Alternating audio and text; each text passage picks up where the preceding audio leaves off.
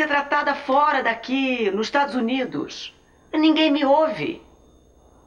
É.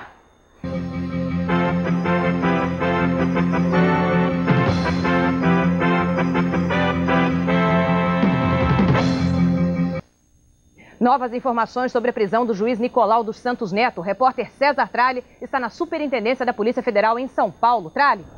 Ana Paula, a confusão é muito grande aqui na porta da Superintendência da Polícia Federal. A expectativa é de que o juiz Nicolau dos Santos Neto saia aqui da Superintendência. Acabou de encostar uma viatura da Polícia Federal aqui e o juiz seria então levado para a carceragem da Polícia Federal que fica no bairro de Higienópolis, aqui no centro de São Paulo.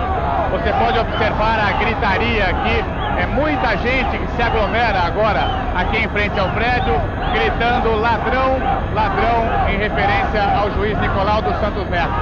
Três advogados acompanham o juiz agora, um médico está fazendo o exame de corpo de delito no juiz e logo mais ele deve sair para a carceragem da Polícia Federal. Há expectativa de que o juiz que decretou a prisão de Nicolau, Kazem Maslum, vá até a carceragem para tomar o depoimento do juiz Nicolau dos Santos Neto. Ana Paula Padrão, voltamos daqui a pouco com novas informações. E nós voltamos a qualquer momento e a cobertura completa você vai ver no Jornal da Globo. Até lá.